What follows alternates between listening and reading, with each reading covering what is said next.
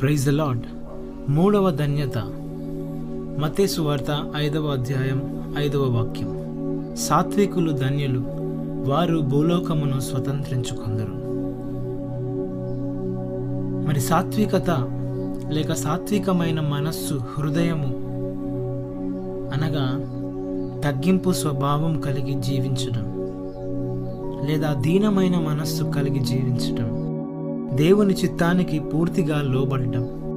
సాత్వికత మనకు ఎలా కలుగుతున్నది అని దేవుని వాక్యంలో మనం చూస్తే పరిశుద్ధాత్మ దేవుని ఫలములలో ఈ సాత్వికము అనేది ఒక ఫలముగా మనం చూస్తూ ఉన్నాం. అనగా తండ్రి అయిన దేవుని ఆత్మ ద్వారా ఈ సాత్వికమైన మనస్సును మనము పొందగలము. జఫన్య గ్రంథం రెండు మూడవ వాక్యంలో దేశంలో సాత్వికులై జీవించాలి. సాత్వికులై యహోవాను వెతకాలి అని దేవుడు పలుకుతా ఉన్నాడు. ఎందుకంటే ఉగ్రత దినమందు మనము దాచబడాలి అంటే ఈ సాత్వికమైన మనస్సు కలిగి న్యాయ విధులను అనుసరించుచు దీనత్వం కలిగి మనం జీవించాలి దేవుణ్ణి వెదకాలి అనేది దేవుని ఆశయ అయి ఉంటా ఉన్నది.